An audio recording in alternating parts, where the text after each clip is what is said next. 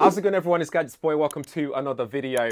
Now, if I mention Rode or Rode microphones to you, chances are you'd know what they are, especially if you're in the content creation world or you're a filmmaker, etc. So Rode, uh, this company in Australia, I think they're Australian based, and they make some of the best and most affordable way of recording audio out there. In fact, I'm using their current Video Mic Go, which is uh, really literally just hooking up, hooked up to my t-shirt there. So it's something I've been using for a long time. And when they hit me up to check out their new headphones, I had to, I had to check it out and see what it's all about. Maybe it's just another tool. It's gonna be another tool that's essential in my bag of Rode equipment.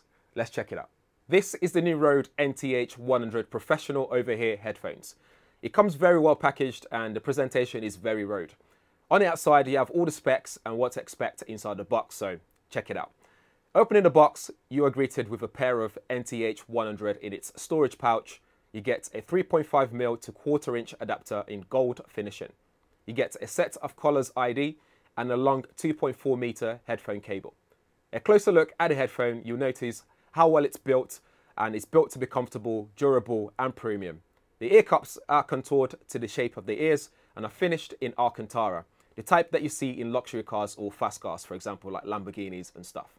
It's also easily removable for cleaning and it covers the soft memory foam underneath it with Rode CoolTech for easily dissipating heat.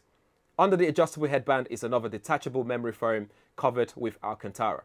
I quite like the exposed cable too, and it's not going to snap when extending the headband, at least not yet anyway, so time will tell over the time I use it and test it and see how that goes. What's interesting here, however, is the FitLok locking system that allows you to lock the headband position into place. I've not seen something like this before, and although the headband itself doesn't freely slide up and down, it's cool to still have something to lock it in place. Again, how durable the lock is, I don't know yet. Ask me again maybe in a month or so.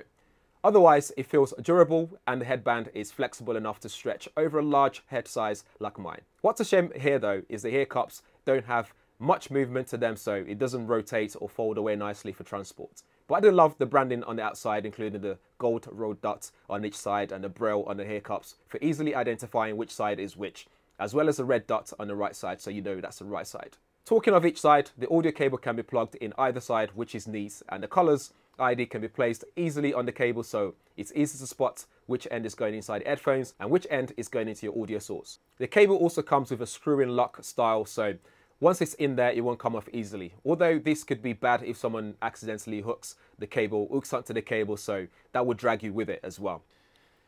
As far as premium go, I think the Alcantara used there is the only premium bit on there that I can really associate with and say that's premium. But everything else is plasticky and stuff like that. But that's not a big problem. It just means it keeps it lighter as well. And it's still got a bit of metal there for the headband, so that's a bonus. If anything, I'd say maybe the cable could be finished in fabric sort of coating to make it just feel extra bit premium.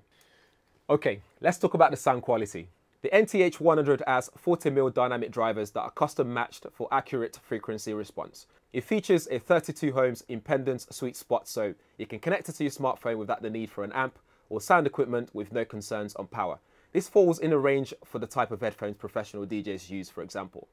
Its professional nature continues with how sensitive it is at 110 decibels. Again, just a perfect sweet spot for loudness with a maximum of 126 decibels of sound pressure level.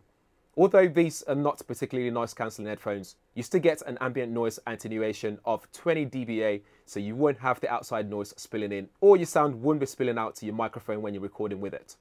It isolates the sounds very well, which is great.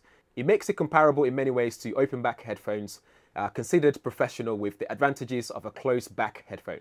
Overall, using it for my recording and editing sessions, it offers a natural sounding experience and a great deal of detail and clarity. And I think Rode has nailed this once again for their content creator community. Over to you though. Let me know what you think of this new NTH 100. Would you get one of these? Is it too pricey? Is it perfect for what you need to do?